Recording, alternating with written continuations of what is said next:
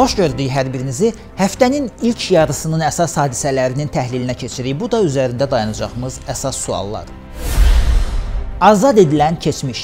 Qarabağın Alban tarixini yaxşı bilib sahib çıxmaq nə üçün vacibdir və bunu necə etməliyik? Azad edilən gələcək. Ora hansı yollarla gedəcəyik? Döyüşdən sonra silkələnən yumruq Ermənistanın Azərbaycanla eyni vaxtda hərbi təlimlər keçirməsi nədən xəbər verir? İkili barbarlıq standartları. Niyə hansısa büstün aşırılmasından narahatlıq keçirənlər bütöv şəhərlərin xaraba qoyulmasına münasibət bildirmirlər? Bu həftə dövlət başçımız ailə üzvləri ilə birlikdə növbəti dəfə Qarabağa, azad olunmuş torpaqlara səfər etdi. Bu səfərin məzmununu şərti olaraq iki hissəyə ayırmaq olar. Azad olunmuş torpaqların keçmişinə və gələcəyinə səyahət. Keçmişdən başlayaq. Bura vaxtı ilə Hadrut rayon partiya komitəsinin binası olub. Tərk edilmiş binada köhnə sənədlərin arasında bir qeyd dəftəri var. Üstündə 1939-cu ilə qədər işlədilən əlifba ilə yazılıb. Kolxozların torpaqdan əbədilik faydalanması üçün dövlət aktı. Altında eyni sözlər erməni dilində təkrarlanır. Birincisi əsas dil isə göründüyü kimi Azərbaycan dilidir.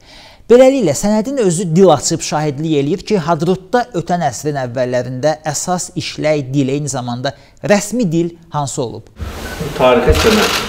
Səfər zamanı dövlət başçımız Hünərli və Tuğ kəndlərindəki iki Alban məbədində də oldu. Bu çox önəmli məqamdır. Çünki Qarabağın Alban məbədləri ümumiyyətlə Alban keçmişi Gələcəkdə erməni ideologiyası və təbliğatı ilə mübarizədə bizim əlimizdəki əsas arqumentlərdən olmalıdır. Kəlbəcərdəki Xudavəng məbəd kompleksinin örnəyində gördük ki, ermənilər xristian məbədlərini bu torpaqlara olan iddialarının mənəvi əsasına çevirməyə çalışırlar. Halbuki Qafqaz Albaniyasının xristianlığı ilə erməni xristianlığı arasında ciddi fərqlər olub. Bunu cənab prezidentin baş çəkdiyi məbədlərin vəziyyətindən də hiss etmək mümkündür. Özlərininki saysalar ermənilər onları bu günə qoymazdılar. Bura baxın.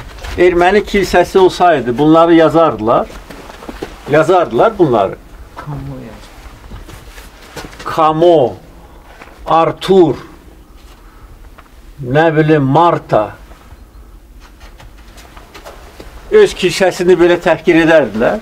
Şunlar analiz. Bu daşlar hamısı saxtadır. Alimlər Saxtadır bu, saxta. Erməni saxtakarlığıdır bu. Ki, bunlar daha İçəridə də gəlin bura.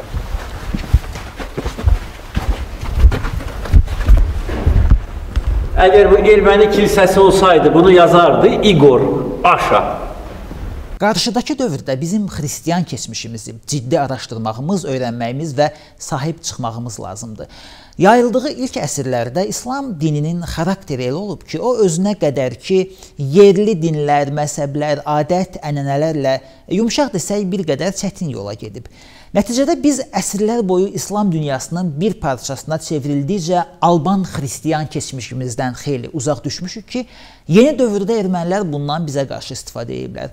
İndi biz həmin tarixi yaxşı öyrənməli, imkan daxilində Alban mədəniyyətini bu günümüzlə yaxınlaşdırmağa, bağlamağa çalışmalıyıq.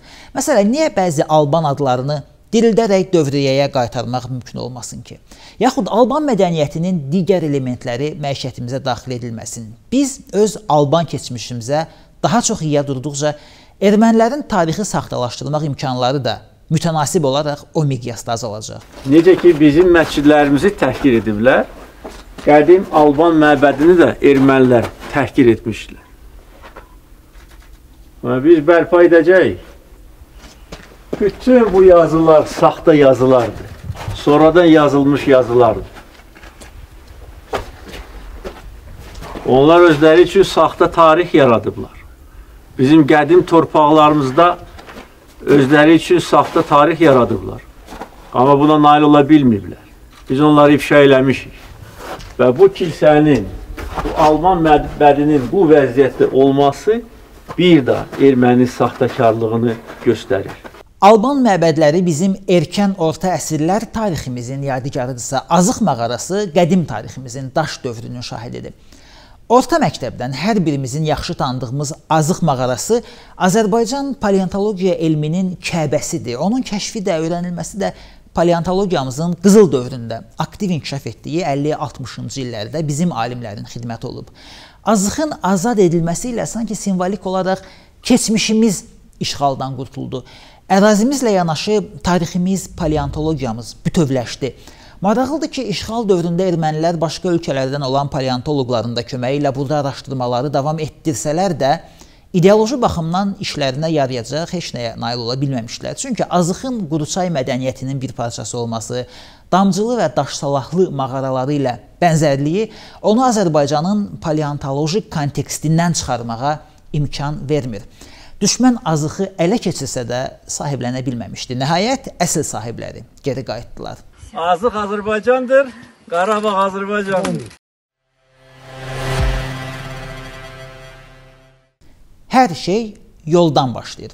Yol hansısa ərazini məskunlaşdırmaq və abadlaşdırmaq üçün enerji ilə yanaşı ən vacib infrastrukturdur. Ona görə də dövlət başçımız səfəri zamanı eyni zamanda bir neçə yolun təməlini qoymaqla azad edilmiş torpaqların nəqliyyat xəritəsinin təxmini konturlarını cızmış oldu azad edilmiş torpaqların bərpası başlamışdır. Füzülüdən Şuşaya yol çəkilir, Zəfər yolu çəkilir. Eyni zamanda Bərdə Ağdam yolunun çəkilişi yaxın gələcəkdə ə, e, icra ediləcəkdir. Horadizdən Zəngilana qədər yol çəkiləcək. Bir sözlə, müharibədən 4 ay keçməsinə baxmayaraq böyük quruculuq işləri başlamışdır. Zəfər yolu Füzulidən Şuşaya gedən qəhrəman əskərimizin yolunu təkrarlayır sanki. Həmin yoldan bu həftə təməli qoyulan Füzuli Hadrut xətti şaxələnərək Hadrut Cəbrayıl Şükrübəyli avtomobil yoluna birləşəcək. O yolun da təməli həmçinin bu səfər zamanı qoyuldu. Bunlar geniş mənada azad edilmiş torpaqlardakı böyük quruculuğun təməlləri sayılmalıdır. Həmin yol Cəbrayıl rayonundan keçərək Şükürbəyli kəndində Hacıqabul, Mincivan, Zəngəzur avtomobil yoluna birləşəcək. O Cəbrayıl ki, cəmi 9 ay əvvəl ermənilər ora yol çəkmək üçün böyük bir layihə hazırlamışdılar. Gəlin yada salaq. Keçən ilin iyun ayında yayılan xəbərlərdə nə deyilirdi? Yeni yol Dağlıq Qarabağın cənub rayonlarını Hadrut və Cəbrayılı Ermənistanın Sünik vilayəti ilə birləşdirəcək. Bu Gorus Xankəndi və Vardeniz Ağdərə yolları ilə yanaşı Ermənistanı Qarabağla birləşdirən üçüncü yol olacaq. Qarabağın sosial-iqtisadi inkişafı üçün bu yolun çox böyük əhəmiyyəti var. Qafan Hadrut yolu yeni sosial-iqtisadi layihələrin həyata keçməsi və kənd təsərrüfatı baxımından önəmlidir. Azərbaycanın bu yolun çəkilişini pisləməsi münaqişənin həlli prosesinə ziyan gətirir. Cəmi 9 ay əvvəl vəziyyət belə idi. Ermənilər Hadrut və Cəbrayıla yol çəkir, bunun sosial-iqtisadi əhəmiyyətini əsaslandırırdılar. Azərbaycan isə onların bu hərəkətini ittiham eləyirdi. 9 ay sonra Hadruta və Cəbrayıla çəkiləcək yolların təməli qoyulur, amma Azərbaycanın dövlət başçısının əli ilə möhtəşəmdir. Bəs Cəbrayıla yol çəkirdin, Paşinyan. Nə oldu? Hanı bu yol? 44 günlük vətən müharibəmiz zamanı informasiya cəbhəsində əsas döyüşlər məhz Hadrutun uğrunda getmişdi. Biz artıq gedib Şuşaya çatmışdıq, amma ermənilər ciddi cəhdlə Hadrutun verilmədiyini sübut etməyə çalışırdılar. Vorgonzo kanalı və Simeon Pegov yəqin ki, hələ də məhz Hadrutla bağlı həyasızlıqlarına görə hamının yadındadır. Hadrut bizim üçün hər şeydən əlavə bir də həmin dövrdə uğrunda xeyli əsəb sərf elədiyimizə görə əzizdir. Maraqlı, qəribə və gözəl günlər idi. Biz Hadrutu azad etmişdik, amma ermənilərin boynuna qoya bilmirdik. Artıq Hadrut bizim əlimizdə olan zaman Ermənistan rəhbərliyi, rəsmi şəxslər və eyni zamanda Ermənistanın dərmanına su tökən bəzi xarici jurnalistlər bəyan edirdilər ki, Hadrut ermənilərin əlindədir. Mən bu günə qədər başa düşə bilmirəm Ermənistan rəhbərliyi nə üçün öz xalqını aldadırdı? Biz dəqiq bilirdik ki, Hadrut bizdədir. Biz bilirdik ki, artıq Ermənistan ordusu tamamilə burada məhv edilib və e, sağ qalan erməni hərbçiləri buradan qorxaqcasına qaçıb dağlarda gizlənmişdilər. Hadrut tam bizdə idi. Ancaq bəzi xarici jurnalistlər bildirirdilər ki, Hadrut elə bil ki, ermənilərin əlindədir. Müharibənin taleyi baxımından Hadrutun böyük strateji əhəmiyyəti var idi. Cəbrayıldan sonra Hadrutu məhz ondan sonra Füzuli şəhərini azad etmək Azərbaycan ordusu komandanlığının ağılla düşünülmüş strateji planı idi. Bu Füzulinin minimal itki ilə azad edilməsinə imkan yaratdı. Çünki Hadrutun geri alınmasından sonra artıq Füzulini işğalda saxlamağın mənası qalmırdı. Bu düşməni yeni dislokasiyaya məcbur eləyirdi. Həmin vaxt isə Azərbaycan əskəri gözlənilməyən yolla Şuşaya üz tuta bilmişdi. Hadrutda olarkən dövlət başçımız bu strateji vacib qəsəbənin düşməndən necə azad edilməsinin bəzi detallarını da xatırlatdı. İlk növbədə ətraf dağlar götürüldü. Hadrutun ətrafında yerləşən yüksəkliklər Azərbaycan ordusu tərəfindən götürüləndən sonra faktiki olaraq nəzarət Azərbaycan ordusuna keçdi və Hadrut qəsəbəsinin işğaldan azad edilməsi artıq qaçılmaz idi. Bu həftə həm Azərbaycan, həm də Ermənistan eyni vaxtda geniş miqyaslı hərbi təlimlərə başladılar. Azərbaycan tərəfdən təlimlərdə 10 minə yaxın hərbçi, 100 tank və zirehli texnika vahidi, 200 raket və artilleriya qurğusu, hərbi aviasiya iştirak eləyir. Ermənistan tərəfindən 7500 hərbçi və maraqlıdır ki, eyni ilə bizdəki kimi 100 tank və zirehli texnika vahidi, 200 raket və artilleriya qurğusu, həmçinin hava hücumundan müdafiə üçün 90 qurğu iştirak edib. Maraqlıdır, müharibə yeni qutarıb, anlaşmanın bəzi müddəaları hələ axıra qədər icra olunmayıb, bəs bu nə güc göstərisidir belə? Ermənistanın bunu etməsi xüsusilə gülməlidir, çünki əgər gücün varsa, bunu döyüşdə göstərməlisən. Müharibəni biabırçı şəkildə uduzub sonra hərbi təlim keçirməlisən ki, Davada möhkəm əzişdiriləndən sonra qaçıb qıraqda əzələ göstərərək yumruq silkələməyə bənzəyir. Bütün formal səbəb və izahları bir qırağa qoyaq, onlar aydındılar. Amma sülh prosesinin getməli, kommunikasiyaların açılmalı olduğu bir dövrdə hər iki tərəf geniş miqyaslı hərbi təlim keçirirsə, bu o deməkdir ki, yeni müharibə təhlükəsi hələ tam aradan qalxmayıb. Avropanın tarixi bizə onu öyrədir ki, əgər imzalanan müqavilə ədalətli deyilsə, gec-tez yeni müharibə labüdləşir.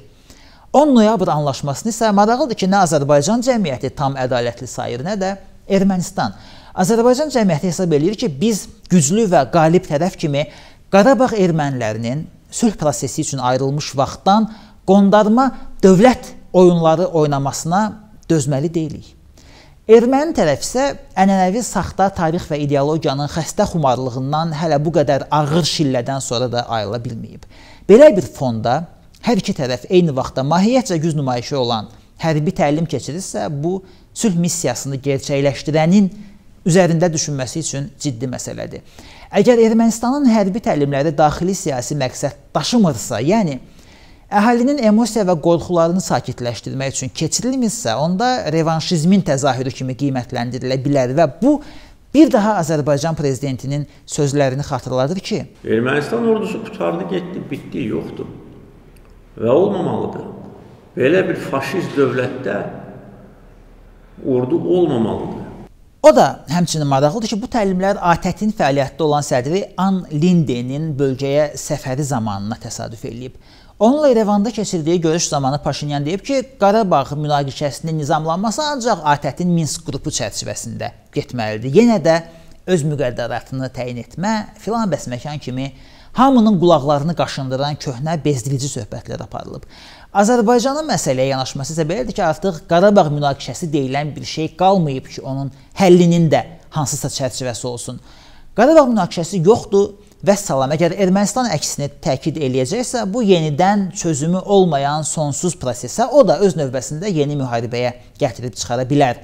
Hər hansı bir yeni müharibə isə Rusiyanın sülhməramlı kimi nüfuzuna böyük zərbə olacaq. İstisna deyil ki, hazırda məhz bunun üçün çalışan qüvvələr də var.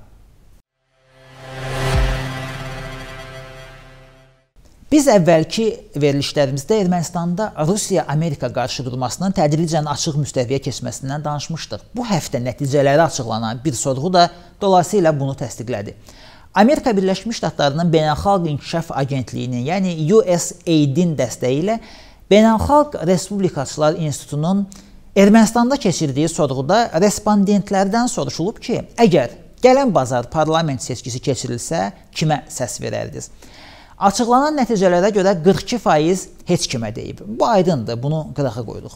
33% Paşinyanın mənim addımım hərəkatını dəstəkləyir.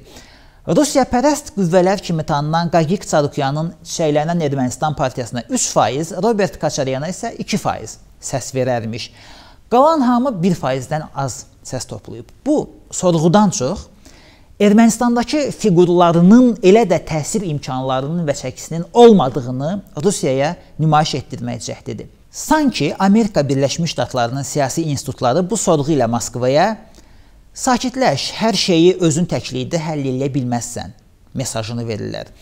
Seçkinin özünə gəlincə, onun mayda yaxud iyunda keçirilə biləcəyi haqqında fikirlər səsləndirilir, amma niyə? Əgər Paşinyan yenə də qalib gələcəksə, müxalifət də bunu başa düşürsə, təbii ki, onlar razılaşmayaraq Paşinyanın istefası tələbi ilə mitinqləri davam etdirəcəklər. Vazgen Manukyan da ona görə bəyan edib ki, əgər Paşinyan seçkini elan etsə, onun hökumətini seçkiyə qədər devirmək lazımdır. Yəni seçki keçilsə də Paşinyanı devirmək lazımdır, keçirməsə də. Bir sözlə dəlixana. Böhran davam eləyir. Ermənilər neçə vaxtdır ki, Azərbaycan əskərinin azad etdiyi torpaqlardakı az qala hər addımını hakü ilə vəhşilik, barbarlıq kimi sığır bağrılarla dünyaya car çəkməyə çalışırlar. Qoymayın filan yerdə lövhəni çıxartdılar. Ay nə bilim, filan yerdə büstü aşırdılar.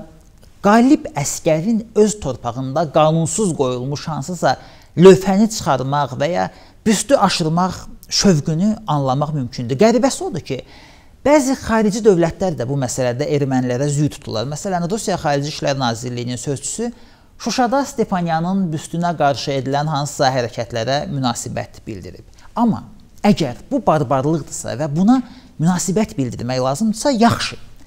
Bəs bütöv şəhər və kəndlərin yer üzündən silinməsi nədir və buna niyə heç kim münasibət bildirmir? Mənasız bir büstün aşırılmasına görə narahatlıq keçirmək olar. Amma məsələn, bütün Ağdam şəhərinə görə yox. İstər Ağdam, istər Füzuli elə vəziyyətdədirlər ki, adətən kinoda nüvə müharibəsindən sonra qalan dağıntıları belə təsvir edirlər. Fəqət Qarabağın şəhər və kəndlərinin taleyi göstərir ki, dünyada nüvə silahından da dəhşətli dağıdıcı qüvvə var. Bu özünü sivil və mədəni göstərən, imkan düşəndə isə yırtıcı naturası vulkan kimi püskürən qruplardır. Konkret bu halda ermənilər. Paradoks budur ki, məsələn, Ağdamı ya Füzulini müharibə dağıdıb, amma onlar müharibədən dağılmayıblar. Burada erməni naturasının nüvə partlayışı baş verib və erməni xasiyyətinin radiasiyası xarabaya çevirib yaşayış məntəqələrini. Buna münasibət bildirməyənlər hansısa büstün aşırılmasını pisləyirlərsə, o deməkdir ki, ideoloji müharibə cəbhəsində görüləcək hələ çox işlər var. Ona görə də səbirli, əzimli və möhkəm olmaq lazımdır. Möhkəm olun.